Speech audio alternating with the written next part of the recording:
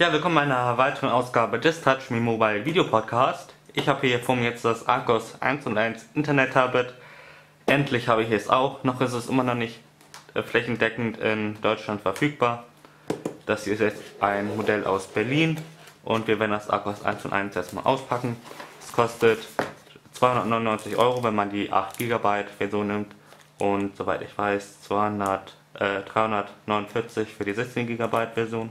Ich habe hier die 8 GB Variante und wir haben hier das Netzteil, ein USB-Kabel und hier die Adapter für das Netzteil, ein englischer und ein europäischer.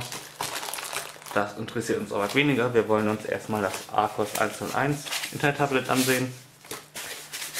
Ähm, wir haben hier noch, da ist eine Kurzeinleitung drin, kostenlose MP3s, Garantiebescheinigung, wie eigentlich bei jedem Tablet. Und wir wollen ja sonst schnell das 1 von 1 ansehen. So, holen wir es mal heraus. Hier ist also das Arcos 101 Internet Tablet. Es kommt mit einem 10 Zoll Display, Auflösung ist 1420 x 600 Pixel und der Touchscreen ist kapazitiv, ähnlich wie beim iPad, Arcos 70, Galaxy Tab und so weiter.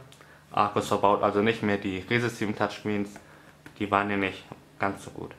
Wir haben hier außerdem eine Webcam und da oben noch so ein Ding, das ist entweder ist das so eine Maus oder das ist ein Lichtsensor, müssen wir mal austesten. Gehen wir mal ums Gerät herum. Unten haben wir nichts weiter. Auch nicht, aber hier in der Seite haben wir die beiden Buttons, um die Lautstärke zu regeln, Power Button, Headset, Ausgang, ein USB 2.0 Port, hier mein Mikro, USB, ein SD-Kartenslot, HDMI-Ausgang und hier den Anschluss für das Netzteil. Hinten, andersrum, haben wir zwei Stereo-Lautsprecher und so ein Kickstand. Und das Tolle an dem Kickstand ist, dass man es nicht nur so hinstellen kann zum Filme gucken, sondern auch ganz weit runter, um darauf dann zu schreiben. Fürs iPad, da schreibt man auch so am besten. Aber da muss man sich immer so ein Case kaufen, das dann 50 Euro kostet. Hier ist das schon integriert. Das ist super von Arcos. Schalten wir es mal ein. Wir haben ja Android 2.1 drauf. Noch im November will Arcos auf 2.2 updaten. Damit dürfte das Tablet um einige schneller sein, als es so schon ist.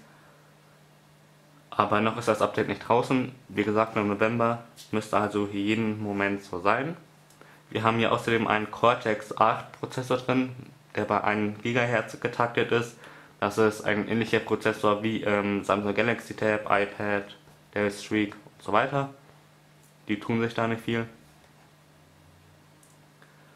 Und ja, wie gesagt, 8 GB SSD ist hier jetzt drin und Argos 1 und 1 ist nun gestartet. Na, ist er schon da? Ja, es ist schon da. Sieht sehr wie beim Arcos 70 aus. Dann gehen wir mal schnell in die Einstellungen und schauen uns an, ob es wirklich Android 2.1 ist. Und danach gehen wir schnell ins WLAN. Wo haben wir es? Wo haben wir es? Ich sehe es gar nicht. Da, Android 2.1, gut. Die Software-Buttons hier an der Seite sind wie beim Arcos 70. Es könnte ein Problem sein, dass bei E-Book-Readern oder einigen Apps ähm, diese Buttons hier die App überlagern. Das müssen wir uns noch ansehen. Und das wird Arcos sicherlich auch mit dem nächsten Update ändern. Ich gehe mal eben schnell ins WLAN rein. Wi-Fi. Schnell Passwort.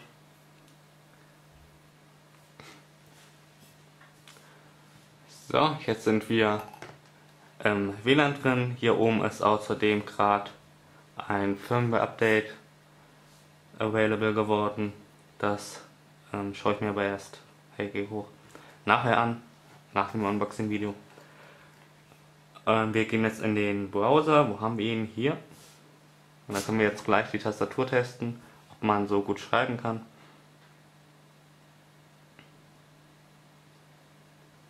Und haben wir ihn auch. Dann gehen wir mal auf Touch Me. Na, habe ich ihn eh vergessen. Wenn man sich ein wenig daran gewöhnt, kann ich mir vorstellen, dass man so mit vier Fingern schnell schreiben kann. Das ist vielleicht sehr groß, aber für zehn Finger dafür reicht es nicht, würde ich mal sagen. Ja, ganz normaler Android-Browser. Äh, ist recht schnell, hier man kann recht schnell scrollen. Hier wird noch gerade ein bisschen Flash im Hintergrund geladen. Ab Android 2.2 wird dann auch Flash unterstützt, noch nicht. Wir haben hier auch Multitouch im Browser. Anders als bei einigen anderen 10 Zoll Tablets. Ja, sieht ganz gut aus. Gehen wir aus dem Browser. Äh, erstmal Accelerometer testen. Kippt er? Da er kippt. Das ist doch gut.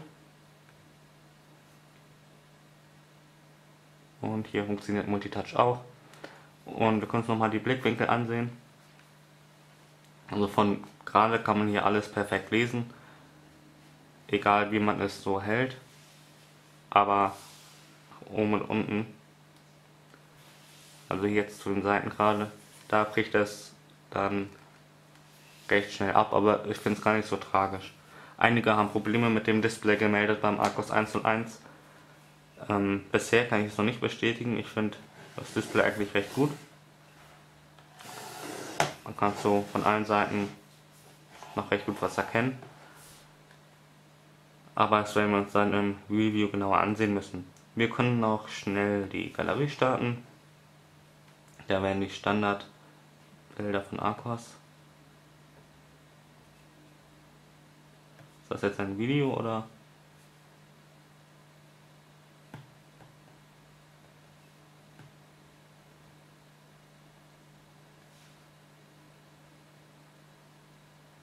Ach, das war die Einstellung. Das hier ist schon irgend so ein, so ein Live-Feed zu sein mit Bildern aus verschiedenen Quellen, Kamera, was schon drauf war. Vielleicht kann man auch Twitter, äh, mal Flickr hinzufügen. Aber ich will jetzt eigentlich in die Galerie. Ach, ich bin auf Photoframe gegangen. Deshalb. Okay. Hier haben wir also die Galerie. Hier funktioniert auch Multitouch. Das ist schön. Und hier nochmal die Blickwinkel. Da brechen sie bei dunklerem Hintergrund schon eher ab. Aber ich finde die Blickwinkel eigentlich trotzdem okay. Dafür, dass man nur 300 Euro für ein 10 Zoll Tablet zahlt, das ähnlich gut wie das iPad ist. Ähm, wir können uns nochmal einen Aldico Reader ansehen. Das ist ein E-Book Reader. Da green wir mal. Und schauen uns ein Buch an.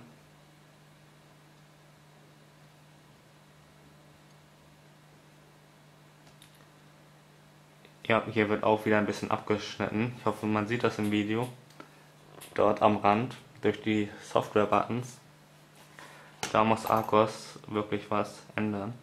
Wir können mal kurz umdrehen. Hier wird jetzt nichts mehr abgeschnitten, das ist ganz gut. Und so kann man auch besser lesen eigentlich.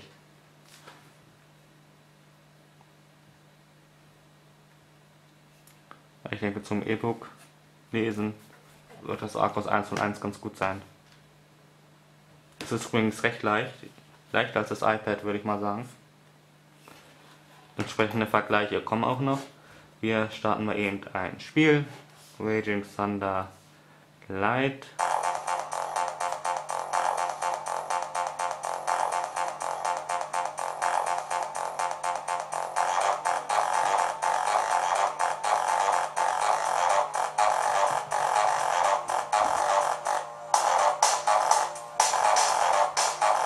Ach man. Okay.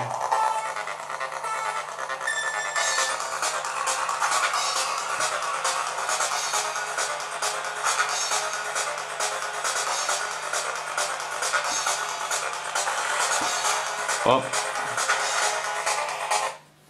Da war ich gerade ziemlich schlecht. Ja, das war also ein Raging Thunder, ein 3D-Game. Wir werden uns noch andere ansehen im Verlauf der Videos. Und wir werden auch noch den Google Market installieren, denn wenn man hier sehen kann, es existieren keine Google Maps, äh, keine Google Maps, YouTube, Gmail fehlt und so weiter. Market ist auch nicht da, aber den kann man einfach nachinstallieren. Das funktioniert genauso wie beim Arcos 70 und wie bei den anderen neuen Arcos Tablets. Und das werden wir dann machen. Man wird hiermit übrigens HD-Videos in 720p abspielen können. Ähm, sämtliche wichtigen Codecs sind vorinstalliert. Man wird auch MKV-Formate abspielen können. Das ist da dann so ähnlich wie beim Arcos 70. Wir haben hier ein paar nette Widgets von Arcos selbst. Ja, das hier ist also das Arcos 70, äh, das Arcos 101 Internet Tablet. Ganz schnell ein Größenvergleich mit dem Arcos 70. Das ist offensichtlich deutlich kleiner. Und ich werde jetzt das Tablet hier mal genauer testen, denn das ist eins der beliebtesten Tablets. Wenn ich darüber schreibe, klicken sehr viele Leute darauf und deshalb müssen wir uns mal anschauen, wie gut dieses Arcos S1 wirklich ist. Der Eindruck, der erste Eindruck ist aber sehr gut.